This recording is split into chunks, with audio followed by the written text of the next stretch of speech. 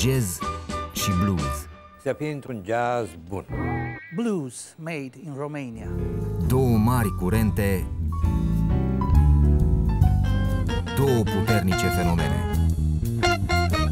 Florian Lungu și Mike Godoroja te invită la o Noapte Indigo în fiecare miercuri de la ora 23 la TVR2.